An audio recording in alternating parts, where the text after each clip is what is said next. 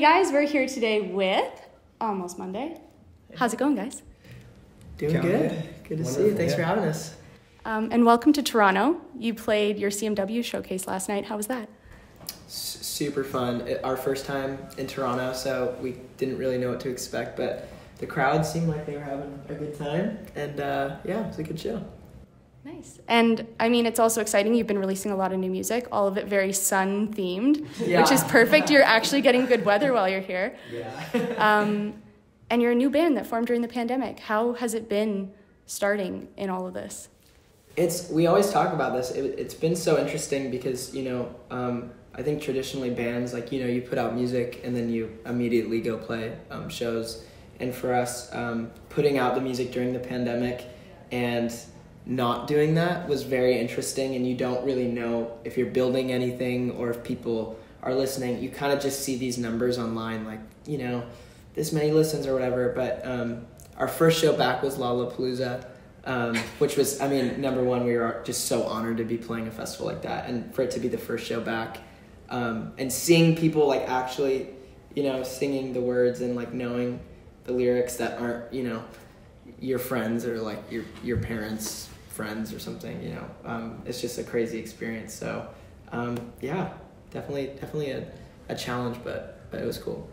I feel like, especially with streaming the way it is now, you can always get those numbers, but you don't necessarily know how many of those people just listened on a playlist and who's going to show up. yeah. So it must be exciting to get that sort of Oh, verification that people really do want to come out and see you too. Yeah. Yeah, it's always kind of feels like you know your first day at school or in high school or something. You're like kind of new kid on the block, and it's always like, is anyone gonna come? You know, because like Foul Festivals, like people come see who's before you, and then everyone leaves to go to the next show, and so it's like literally expecting like 30 people. So when there's more than 30 people, it's, it's pretty cool and uh, it's exciting.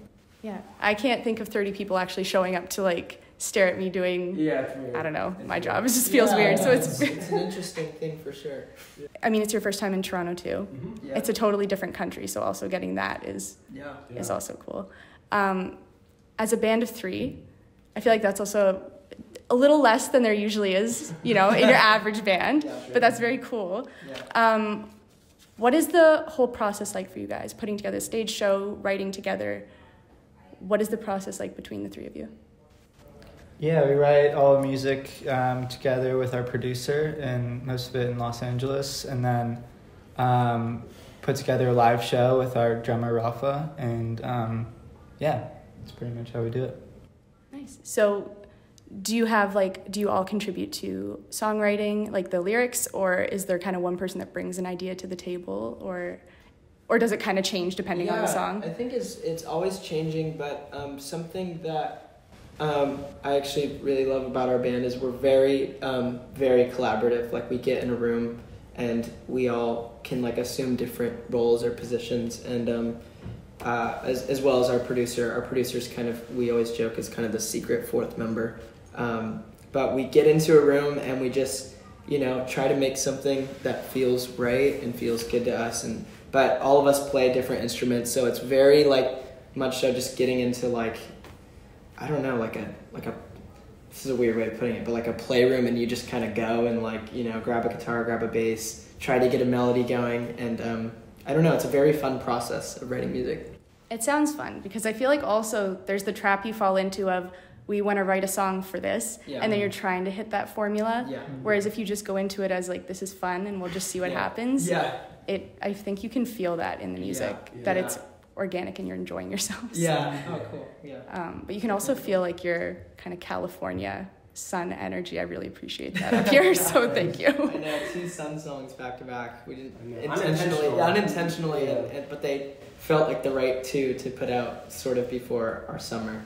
Um, two Sun songs. So the rest of your music is not going to be a series of You're- songs you're on with your experiences with the in sun. title. Yeah, we're down with sun in the title.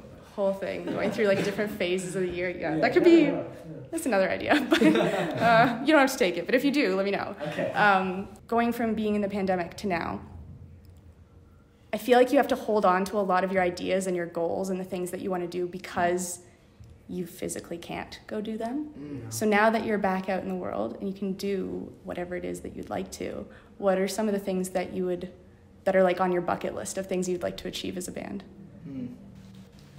Mean, just shows, just playing as much as we can everywhere we can. Be awesome to do some more touring in the U.S., um, do more touring abroad. I think just after two years of not playing shows, that's kind of the highest priority.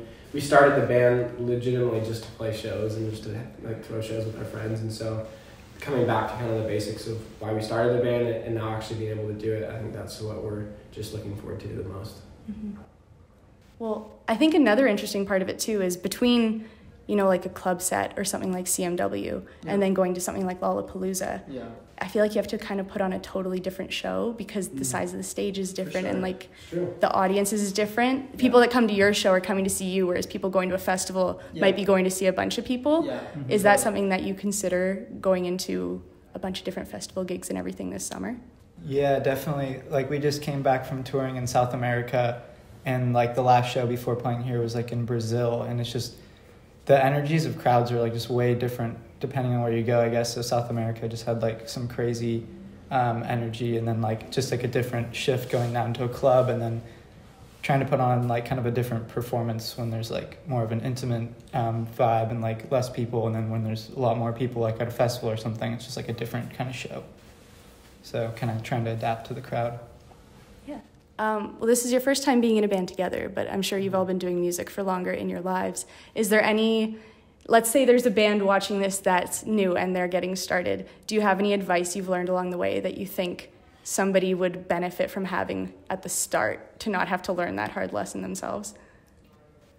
Yeah, I think, I don't know, I think for us, like, um, we, you know, we've been a band for a little bit, and I feel like every year you feel like you're so different from the year before and I, and I think one of the biggest things we've felt is really finding like your sound or where you fit in. I think there's so much music like, you know, that just comes out every day now. It's so saturated, but really staying true to like not just like, oh, this is big right now, but really trying to develop a sound and something that feels like, you know, you know those bands that are like, oh, you know you say their name and you know exactly what the vibe is or mm-hmm. what kind of emotion um, just trying to find what that is for you and what feels real and, and organic and authentic i know a lot of people say that but like when people can listen to your music and feel like that is you and when they come to a show and feel like that truly is what you're doing in your life and how you uh, you know feel when you're expressing yourself um, that would be my biggest um, recommendation to new band. I think that's good advice. Yeah. Yeah. Yeah. It's I think cliche, but Yeah, but I mean like the more you say it, the more it drills into someone's head yeah. too. That it's like important if everybody's saying it, it must be true. yeah. um, I think sorry. I feel like a lot of people get like nervous about it being like a brand and yeah. becoming that, but it's like there is so much to be said for hearing a new song and knowing already I know exactly who wrote this. Like, yeah. Or even being able to hear it in somebody else. You're like, somebody song wrote on this, and I know who it was. Yeah, yeah. I think that's powerful. That's it's just hard, like um, the way the music industry's gone so like social media focused now too. I, I think it is easier to fall into like, oh, it's a brand and like you need it. But I think at the end of the day, like a good song always wins. So if you write something that feels real and organic and isn't just following what other people are doing, I think you'll you'll do well. Yeah. Hey, good advice. I'm going to take that for myself too. Maybe I'll start a band and be like, hmm, I already know what I'm doing now. I did want to ask you guys as you are starting this part of your journey, going on festival tours, I'm sure many more exciting announcements to come, more new music. Um, what are the best ways that we as your fans can support you? Wow, it's mm. a, that's a cool question. Um, I think just streaming the music, coming to shows. Yeah. Um, yeah, yeah. coming to shows is probably the biggest thing because that's like what makes it. You know, you mentioned before like what actually translates to real life. You know, the numbers when it's like physically there, we can interact and just like kind of hang out, and that's when it becomes kind of like real, which is really cool. And I think, yeah, I think that's really important, and and also I think it makes it feel more real for you guys, for sure. so you can actually See, feel like you're yeah. progressing and getting exciting things yeah. happening. Yeah. Um, I, I'm sure you can't tell us anything too secretive, but there's more music on the way, I assume. The classic band interview going, no, we have music. No, we can't tell you when, but yeah. I just like making everybody say it. thank you guys for making the time with me. I feel like by the next time you're here, you're going to be too big for us now that you're hitting a million monthly listeners on Spotify. Yeah, that's um, massive. It's been a goal of ours for a long time, and now that it's like actually happened, it's pretty surreal. Well, how do you even fathom that number? Like, really thinking about literally 1 million people, Yeah. different people around the world listening to your songs.